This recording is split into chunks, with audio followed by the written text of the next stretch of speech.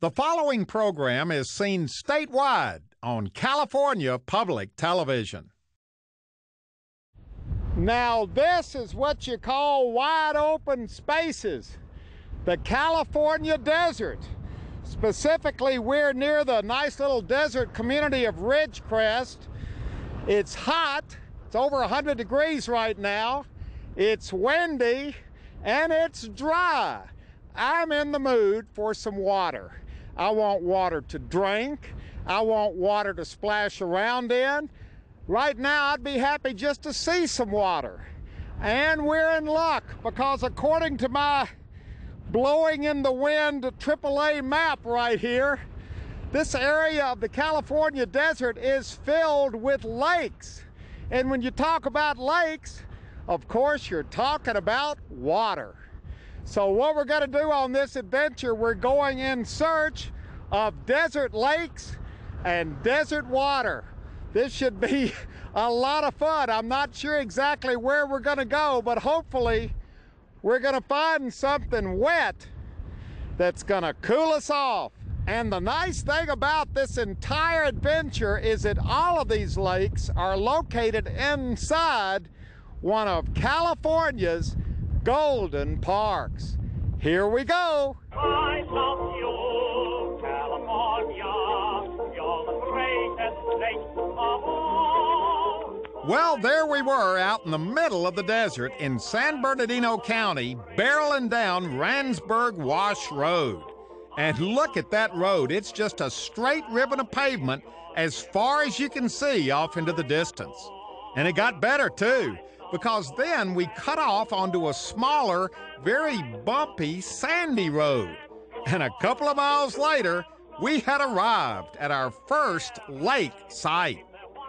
Okay, our adventure in search of lakes and water has begun, and we have hooked up with Lynn Gum. It says there you're from the California Desert District of the Bureau of Land Management. And the Bureau of Land Management has jurisdiction over a huge part of the California desert. We do. We, uh, amongst all our five offices, we have almost 9 million acres under jurisdiction.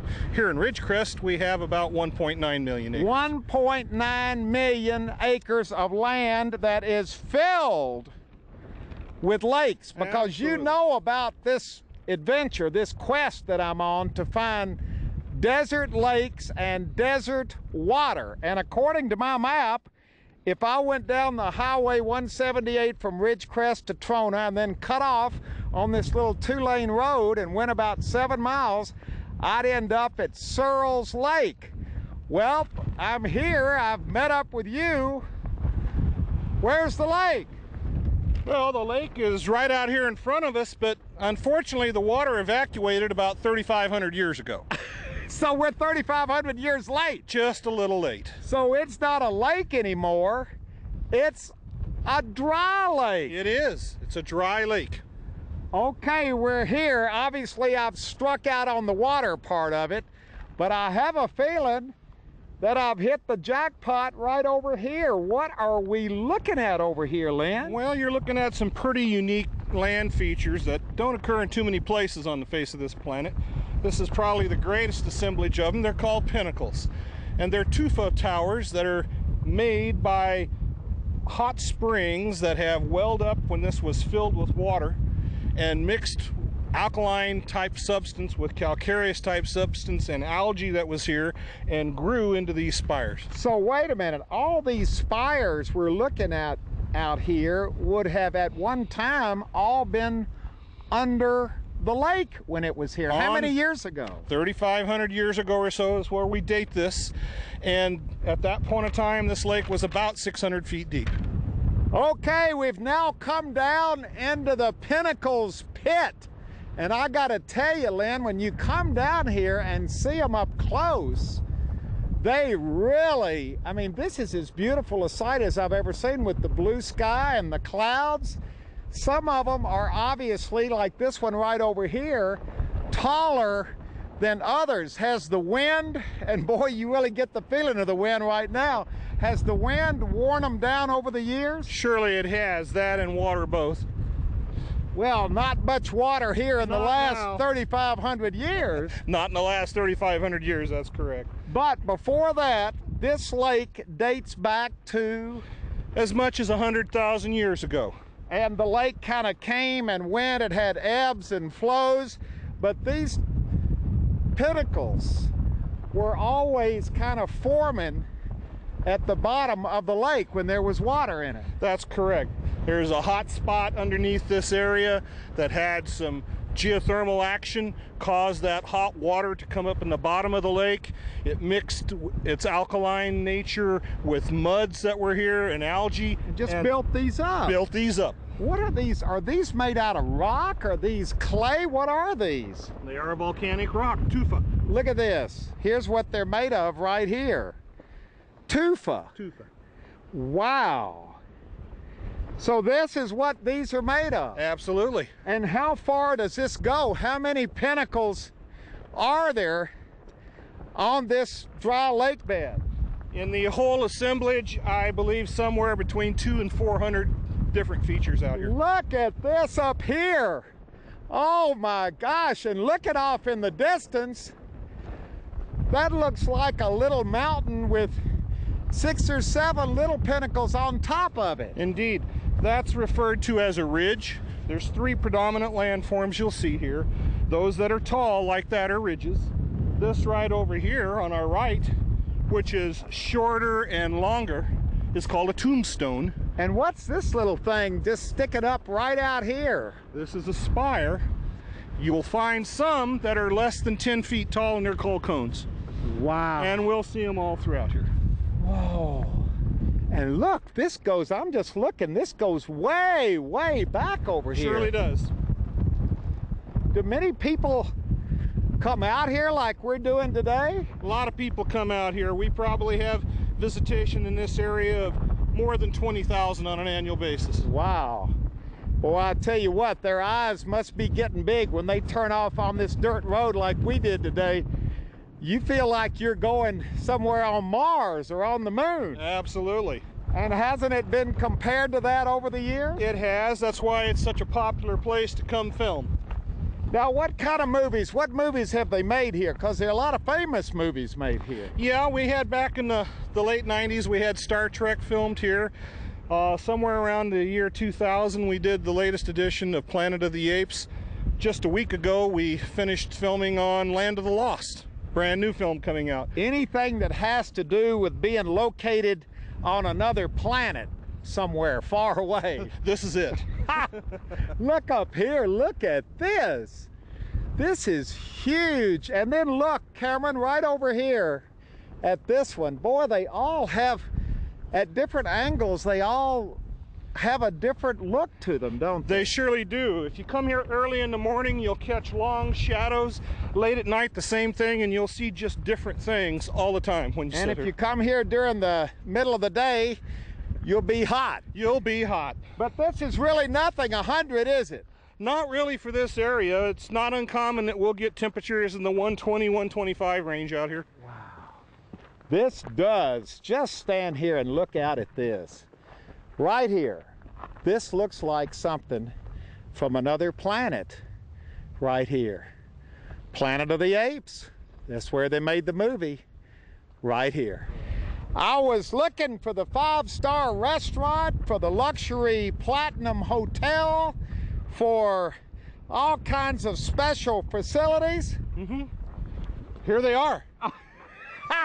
That's it, right there. At least you got a restroom out here.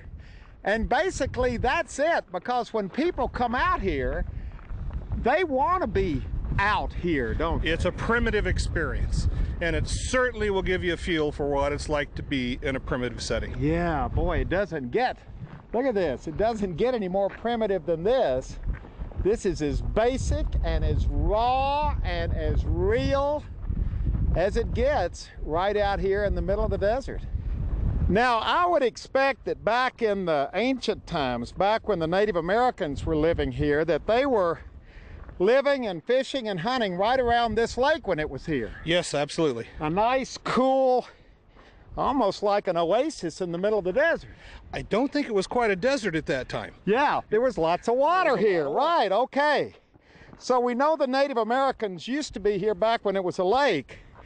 But look what the good folks at BLM have discovered right here in the side of one of the pinnacles. What are we looking at here, Lynn? We're looking at the indomitable spirit of early California miners.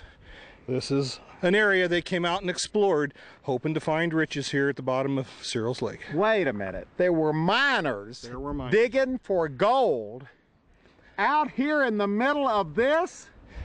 What can I say? What year was this? This is circa 1890 to 1900. How would they have lived out here? There was nothing out here. There was nothing out here. The closest facility here at that point of time was at Searles Lake. John Searles had discovered borax there in 1878. So there was a mine going over here at Searles Lake, maybe five or six miles north of here. across the dry, barren desert. Exactly. And what did they do? What what's back in here? Is this just one room that they dug out? That's all it is. They'd gone in, done a little bit of exploration, apparently thought they found something of, of while, and as you can see, it goes back in there 40 feet, and that's Were they it. digging back there or digging and living back there? Because I bet it's cool back in there, isn't it? Well, you know, it's all relative. When it's 125, 120 is cool. Yeah. So you can, it's a place to get out of the sun. Can we go in there just a little ways? Just a little ways. Well, there's not much here. It's not really a tunnel, but we are now inside one of the original historic miners mining tunnels put here in the late 1800s. And it is cooler back in here. It is. It's about 95. Might be that, yeah. Well, I struck out looking for water. The lake, as I was expecting to see it, is gone. There it is out there, Searles Dry Lake. Searles today. Dry Lake today. But even though I didn't find the water, we found the pinnacles and we found all of this wonderful history, geologic and human history that goes along with it. But I have another ace up my sleeve because I've been looking at my road map and there is another lake not far from here and I bet you there's water there. So we're going to leave here and head to our next, hopefully wetter destination in the desert. We're looking for water. Well, the journey in search of our next desert lake took us north on Highway 395, which is one of my favorite highways in our entire state. I mean, is this scenic or what? From 395, we turned east on Cinder Hill Road, and before long, we were there. Okay, this is kind of a shock because, Lynn, I thought this was going to be my ace in the hole. On the map, I read that this location was called Fossil Falls, which I thought meant a waterfall. But look over here, there's not a drop of water anywhere around here. What happened to the water? Well, the water pretty much disappeared about, I don't know, 5,000 years ago or thereabouts. So wait a minute. I'm 5,000 years late. Yes, sir, you are. Well, what is here? This looks like this is all volcanic stuff out here. It is. It's it's known as vesicular basalt, and it is a, an expression of a, a volcanic eruption and lava flow throughout this area from about 15,000 years ago up to as recently as about 5,000 years ago. So wait a minute. This could have all been happening at the same time. Water here and a volcano erupting here all at the same time about 5,000 years ago. Yes, sir. That must have made quite a show with the volcano erupting. Is that a volcano over there in the distance? That's a cinder cone. And yes, that was a type of volcano. So 5,000 years ago, if we'd been standing right here, we would have been, this would have been a, a lake. This throughout this area and north of here would have been covered in water. There would have been a great huge river flowing through here. And we'll see that as we get over here to the cut that makes Fossil Falls. And when this lake was here, the volcano would have been erupting and all this lava would have been coming into the water. It would have been steaming and churning around. Would have been steaming, would have been churning around, and you would have had really a lava flow across the surface. That's what you're seeing, this expression right here. See, I wish I could have been here 5,000 years ago. As a geologist, doesn't that kind of get your interest peaked a little bit? Well, absolutely. Between that and at that point of time, with as much water as we had here, obviously we had fairly lush vegetation. We had quite a habitation of, of native aborigines that were here at that point of time. Wow. Well, let's hike out across what used to be filled with water. Today, it's volcanic lava, rock, everywhere. This is almost prehistoric in the way it looks. Indeed. Back when there was water here, thousands of years ago, there were also lots of people living here as well, weren't there? Lee? Yes, sir, there were. There were several different tribes that we still see expressed today. The Paiutes, the Shoshone, some Comanche, and uh -huh. others. And they were living and working right in this area. Right in this area, and it's borne out by what we see right here where we're standing.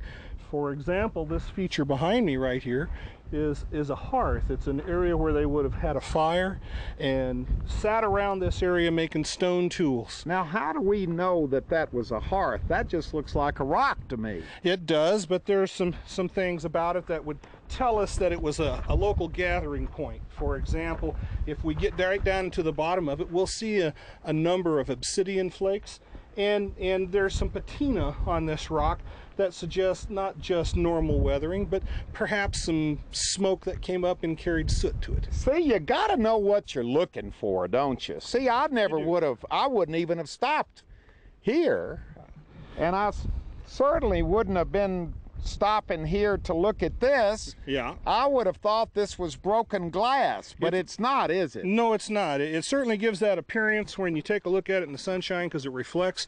But if you take a close look at this stuff down here, it's all black, and it's actually naturally occurring obsidian. It's a volcanic deposit, and these are chips look that that came off of a major, what would be called a core tool, where folks were sitting here banging rocks together on that on that glass to make sharp points, scrapers, arrowheads, all that sort of thing. Well, there's still a lot of that well, around here today. Are all these little chips we see, these were all done originally by the Native Americans? Here? Yes, sir. That's what we believe. Certainly, we have a feature off to the north and east by about five miles known as Sugarloaf Mountain, where there's a great mountain of obsidian that was quarried by these people, and it was brought over to this area where they made their tools, and wow. it was used as trade medium throughout the area because it made such great great stone tools. There is so much around here to look at if you know what you're looking at.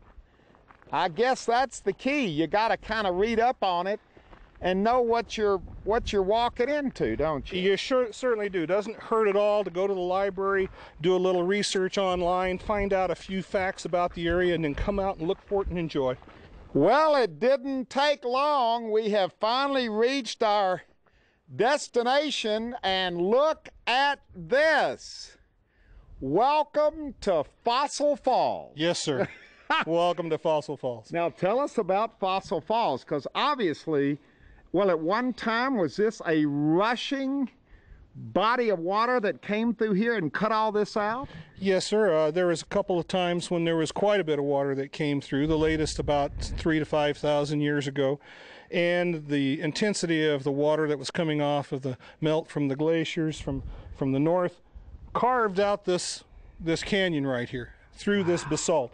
As you look along the edges of it, you'll see very finely and highly polished sides on these stones. So there was a lot of water. Tremendous here. amount of water. At that point in time, they say Owens Lake was over 600 feet deep, that China and Searles Lake were more than 600 feet deep that Panamint Dry Lake now was 900 feet deep, and Manly Lake, which goes down the center of Death Valley, was also about that 900 feet deep. So there was a whole sequence of lakes. This one was part of what lake? This was south of the Owens Lake. The Owens, today's Owens Today's Dry Owens- Lake. That's correct. Today's And- Owens Dry Lake. So this is dry, Yes, sir. and everywhere else we've been today is dry. Pretty much so. What you see is what you get out here in the desert. Okay, we're taking a break. I'm standing in my jacuzzi. Lynn is sitting in his. Absolutely. It's a naturally occurring event. And can't you just imagine sometime in the past, after a long day, hard chipping your stones, hunting, you came here to sit down, have a little jacuzzi bath, wash your feet. Do you think that the Native Americans really might have done something like this? Well, yeah, I do think it's entirely possible. And, you know, we have this nice basalt rock here that as the day wears on, it heats up. So who knows? Maybe you even had a little bit of a hot tub going for you right That here. is amazing. I never would have thought of that, but you went right to it. Well, you know, a guy knows when he needs to take a rest. Okay, we have reached the actual falls themselves. That's where this whole thing got its name. That's true. The water would have come rushing right down here over that ledge and all the way out across the desert floor. Yes, sir. It would have followed the channel as far as it could have. Boy, we're coming down the hill now. So far on this adventure, we have struck out as far as finding water is concerned, but I have looked at my road map. I found a little blue dot. That means real water, not water that used to be here, but water that's still here. That's right. It's water that's still here today. And here's the water right here. We found it. It took us a while, but we have arrived at this beautiful body of water. We don't have to project back in time. We can see it today. Where are we, Lynn? This is Little Lake, California. It is the last vestige of those series of lakes that we've talked about all day today, and it is what we have left is real live water here at this part of California. This is the only lake left out of that. Well, how many of them were there originally up here? Well, there was five. There was Owens Lake to the north, and it drained down through this valley to to the uh, Fossil Falls area that Well, we yeah, were just in. We just were up at Fossil Falls. There's the cinder cone. That's kind of the landmark. That's right. And then it drained from here, went south, made an abrupt turn to the east, went into China Lake, which overflowed into Searles Lake, where we started this morning out at the Pinnacles. That lake flowed over into the Panamint Valley, into Panamint Lake, and that lake flowed over into Death Valley, into what's called Manly Lake. Lots of lakes, all of them dried up. Except what, this one. What's the? Why is this one still here and all the others are gone? Well, the others are gone because we didn't have any ready source to feed those any longer. This has fracture control, and there's some springs that feed this lake, so Ah, it naturally natural spring. absolutely keeps this lake full.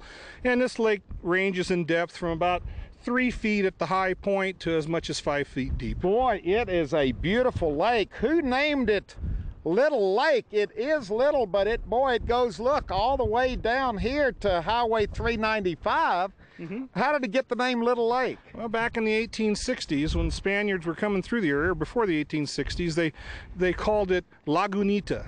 Literal translation is Little Lake, and it's carried on since that point of time. Native Americans were here as well. Absolutely. This area that we're standing in in these cliffs is rich with cultural heritage right here. and we don't see them right now, but you say there's lots of birds and animals and all kinds of things that you can view from the observation point that we hike down from here. That's correct. Yes, there's, there's in the wintertime, this is a major flyway for migrating birds. At any given time, you might see three or four hundred species of birds on the lake at a time. well, they're just happy, just like we were, to see some real water they can Absolutely. plop down in. Absolutely. well, thank you very much. Boy, we have learned so much today. One of the things we've learned is that, you know, as bleak as this looks when you first see it, it's a perfect example of it. I'm a big fan of the desert. What you can find in the desert if you just look. Take your time, look around, you'll be surprised what you see. Yeah, there's a lot to see here. We came in search of water. Come on over here with me, Lynn. We came in search of water. We didn't find any till right at the end of the adventure, but we found places where water used to be that are still here today that you can visit and enjoy. The Trona Pinnacles, Fossil Falls, all of this beautiful area out here in the California desert. And of course, the beauty of all of this is that every place we have been today is part of the Bureau of Land Management land, which is preserved and protected by the United States government for all of us, for all the future generations to visit and enjoy, just like we have today. We came in search of water. We I found didn't, it. I didn't think we were going to, but we finally found it. And of course, the beauty of all of this is that every place we have been today, all of these places are part of the wonderful system of California's golden parks.